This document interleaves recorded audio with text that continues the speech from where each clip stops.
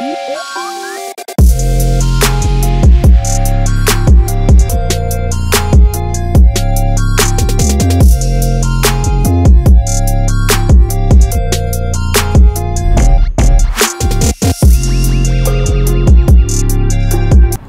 is going on guys? Welcome back to another video. My name is Ron and this is MotorTube and today we have a 2019 Camaro 1SS. This is a 1LE guys and that's the car we are reviewing today. I'm gonna quickly tell you guys about my style of reviewing cars. I'm a little bit different from everyone else. Basically, I'm gonna show you guys all around the car as if you are here looking at it. My point of view of what I'm seeing, I'm gonna show you guys that. I'm gonna talk about that a little bit. We're gonna go for a drive. We're gonna talk about numbers, you know, horsepower, quarter mile times, things like that. And that's pretty much the way I do the reviews. So with that being said, let's get started with the review.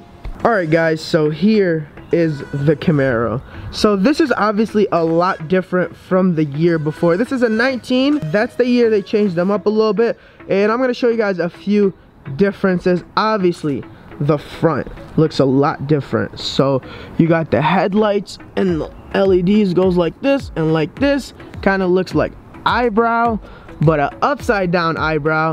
Also, you have these. It is a lot more aggressive, honestly, and Look at all this. You got the Chevy symbol right here and air goes right through there. Basically, air goes through everything. Everything is pretty much a grill except this plastic part right here. But even through the Chevy, the air could go right through the SS right here. Also, the lights come all the way here, by the way. You can't see them until you go down, but uh, yeah, they go all around. And also has this front lip. Let me show you guys. It's plastic, not carbon fiber. So it goes all the way to this side. It looks really, really good. I mean, I'm actually impressed. You know, when they first came out with the regular SSs, those are pretty ugly. But the 1SS, which is like the 1LE, looks a lot nicer. I mean, look how aggressive it is. Look at all these body lines. Look at this. Look at that. It just makes it so aggressive. It also has the satin black wrapped hood with the vents right here. These are functional vents as well. I'm gonna show you guys once I pop the hood. All right. There it is. You got the V8. It's a 6.2 liter V8.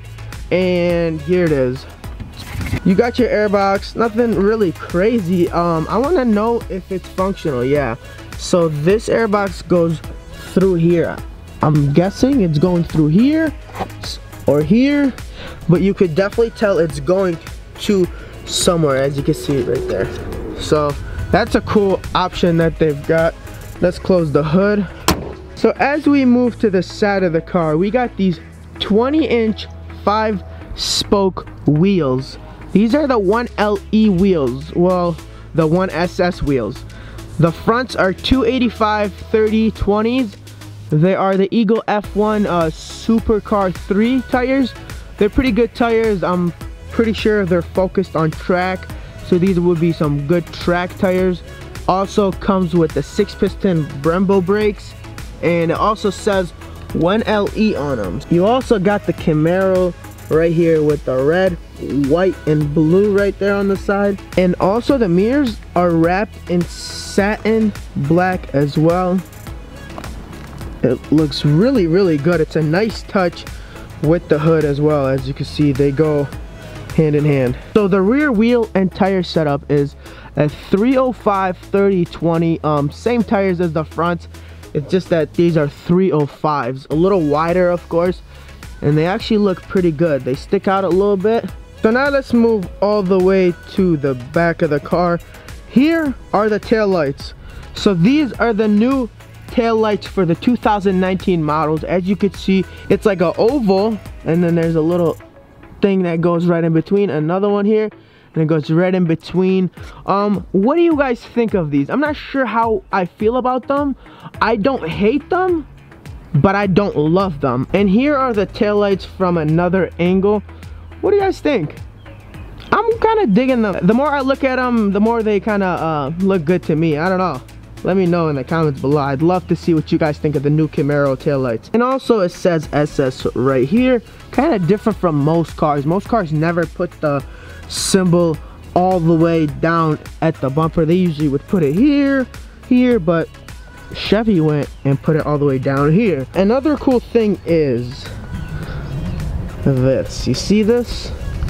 They've put this little line in the bumper and it goes all the way here and it just makes it a little bit more aggressive you know? It's not too easy to notice but when you notice it you could definitely tell right there. It makes it look a lot more aggressive of a car. You also have two exhaust tips on each side. I'll turn the car on for you guys so you guys could hear it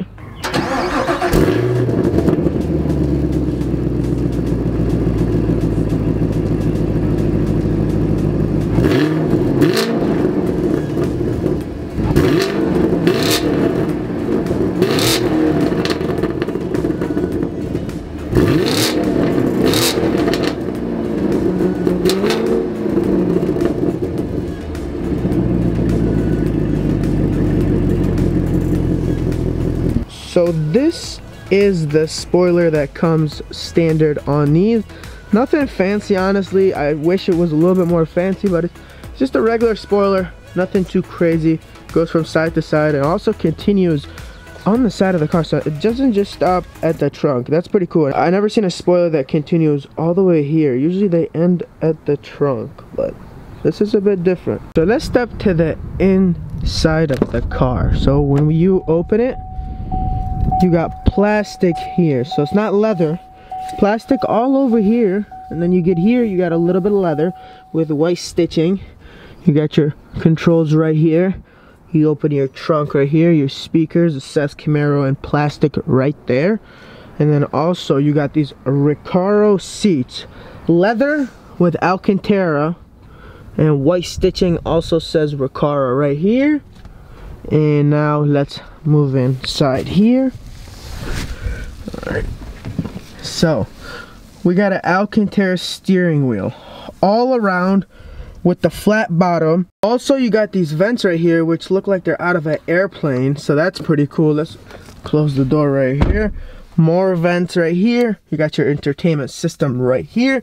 Manual. It is a six speed manual ladies and gentlemen. So this car only comes in manual here you got your different modes right here. Your parking brake is actually right here so it's a bit different. And now uh, let's turn on the car real quick. So of course put on the clutch. Let me show you guys through this real quick. You got your audio. Let's go back now phone wi-fi hotspot user setting apple carplay android auto which is exactly like carplay. You got your apps you got your pdr it also got your climate my chevy onstar. Let's go back here real quick. Let's go through the apps. It has the different apps you could get and then it has my apps. So you have 1.2 gigabyte free. You're using 183 so you could obviously download some more. Has the 4G LTE right there the temperatures. It also has the heads up display. I don't know if you guys can see it on camera. It also has the 200 on the dash. Let's see what it revs up up to. About 5,000 so it has these different modes. Let me show you guys real quick. You got snow you got track sport and tour tour is what tones everything down ladies and gentlemen and then here you got your traction off traction on and I'm controlling all this with these buttons for the mode right here and for the traction on and off right there. One thing I'd like to let you guys know before buying a Camaro is I hope you guys are not planning on bringing more than two people in this car. That means driver, passenger, that's it. And I'm gonna show you guys what I mean by that. The rear seats don't exist at all. Who could fit back there? I don't know. Look at that. Can anyone fit back there? That person's sitting quite comfortably, but nobody can fit back here at all. These are useless as ever. As ever, they are so useless. So that's what I mean when I say you should just plan on having you and your girlfriend. Otherwise, all your other side chicks can't fit back there. So I pretty much covered the entire car. And before we go out for a drive, one thing I like to do on this channel when I'm doing these reviews is show the window sticker. So I'm gonna show you guys what that looks like and all the options that it has and how much this Camaro costs. All right guys, here we got the window sticker. So as you can see, it says 2019 Camaro 1SS Coupe. Exterior color is red hot, interior jet black engine, 6.2 liter V8 six-speed manual transmission. So standard equipment, nothing crazy. It starts out, it starts out at 37. Then it has the 1LE track performance package, which is 7,000, and that comes with the wheels, the magnetic ride. So this has the magnetic ride control, which is awesome for driving around and also track. You know, it's a track-oriented car. Also has the exhaust, dual exhaust, uh, Brembo brakes, heads-up display, hood wrap, front splitter, all these other cool stuff. That all comes with the 1LE track performance package, which is $7,000. That's a lot right there. Also, if you want the performance data and video recorder, which is the PDR, that's 1300 Wheel locks and cargo net, that's 95 65 And the total options is 8000 $460. So as you can tell, most of the options come from this package, the 1LE package, and that's the $7,000 one. Total price is just over 46000 But if you guys want to go and grab it now, it's not 46, it's not 42. If you have the GM employee discount, you will have it for $40,855. So go and get it, $40,000 for this car I think that's worth it. Honestly, like what could you get like this for $40,000? I don't know. I can't think of anything else better to get. Uh, SS 1LE track oriented car. Pretty awesome. I think uh, this price is uh, actually pretty good for this car. And now we're gonna take this bad boy for a drive and see how it rides. All right guys, and now we're gonna take this bad boy for a drive and see how it drives. And we're gonna talk about all the numbers, the zero to 60 times, the quarter mile times, all the things you guys care about. Let's put our seatbelt on and uh, turn this thing on and get going. Ooh, it sounds so good. Woo! This thing is so awesome. I haven't driven many manual cars, but I feel like this is one of the easiest manual cars to drive. I'm not the most experienced manual driver as you guys can know. Some of you guys thought I could never even drive a manual car, but I'm not the best manual driver car, but this thing is just so easy to drive. I mean, if I never driven a manual car before, I definitely want to learn on this. Man, it's so awesome.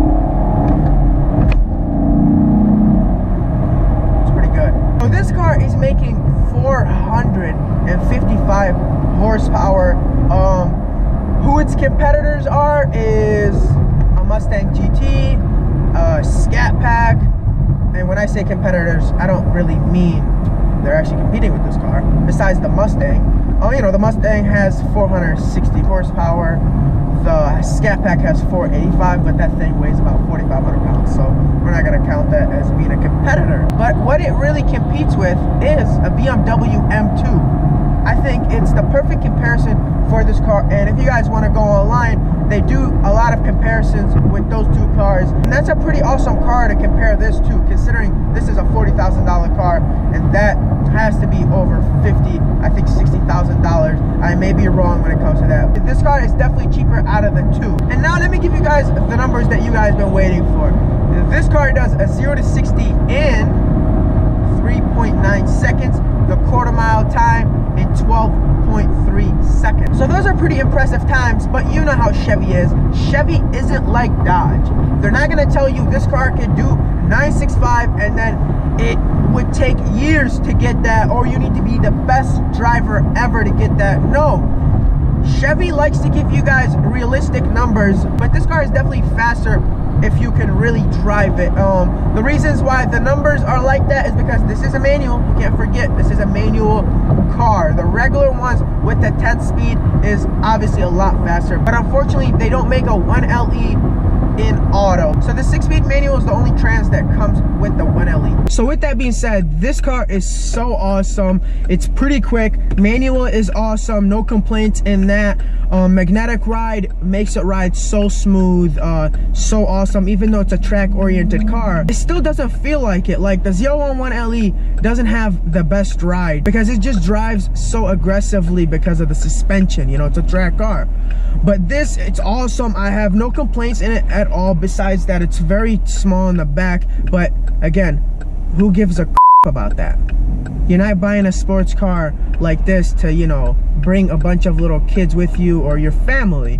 You know, I know you'd want to do that, but you can't do that in this car, unfortunately. All right, guys, and that brings us to the end of the review. And also, shout out to Hishi from Buff Whelan for making this review possible. If you guys need any Chevy products, this guy is the best in the business. And I'm not just saying that. He's actually top 10 in the country in salesmen. He's an awesome salesman, works for the number one dealership in the country. They move the most cars out of everyone in the country. So make sure you check him out. I will leave his info in the description if you guys want a ZR1, if you guys want a Camaro, anything you guys want, hit him up. He is the man when it comes to that. So easy to deal with and just such an awesome person. So make sure you guys check him out. And with that being said, this video has come to an end. So if you guys like today's video, give it a big thumbs up. If you're new to this channel, smash the subscribe button, turn your notification bell on to stay up to date with the videos, and be part of the family. You could also follow my social media. My Instagram is Toxic SRT, and my Snapchat is Toxic SRT. And now it's time to let you guys go. Peace out. Whoop.